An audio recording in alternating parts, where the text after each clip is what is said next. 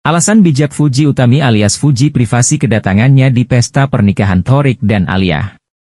Seperti diketahui, sebelum berpacaran dan akhirnya menikah dengan Alia Masaid, Tarik Halilintar pernah berpacaran dengan adik ipar mendiang aktris Vanessa Angel, Fuji Utami selama satu tahun. Sebelumnya, tanpa tahu siapa netizen yang ramai menghujat Aliyah Masaid hingga terjadi kehebohan dan saling melempar komentar kebencian, Fuji meminta maaf.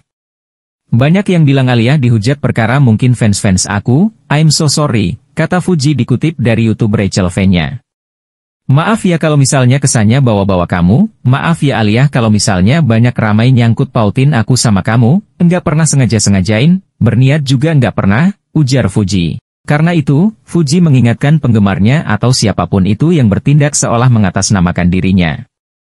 Makanya Play AC, Fans aku atau siapa pun itu yang menggunakan nama aku untuk membela aku, komennya menyerang dia, aku enggak enak, ucap Fuji.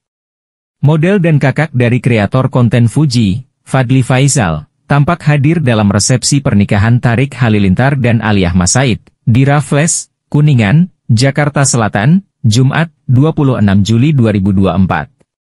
Kehadiran Fadli di resepsi tersebut seolah menepis rumor yang menyebut hubungan mereka tak baik-baik saja sejak Tarik Halilintar putus dari Fuji.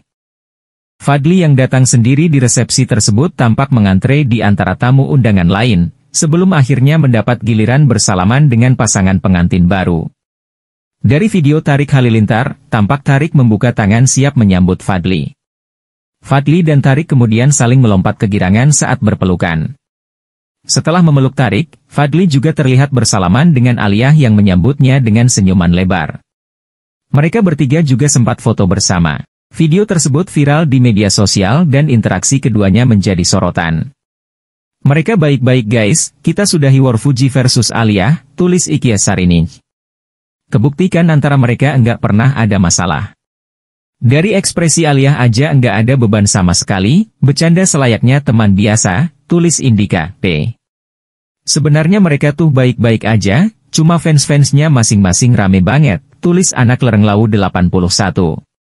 Ai bisa masih baik sama Thor berarti waktu putusnya Thor baik-baik aja sama adeknya, tulis Lilian Fajar Sari. Sementara itu, Fadli yang datang sendiri ke resepsi tersebut sambil bercanda menjawab pertanyaan dari produser musik, Aan Story, selain itu Fujianti Utami Putri atau Fuji ramai menjadi sorotan usai sang mantan, Tarik Halilintar, menikah pada Jumat, 24 Juli 2024, lalu. Kreator konten sekaligus YouTuber ini ternyata mempunyai selera mewah soal tas hingga casing smartphone.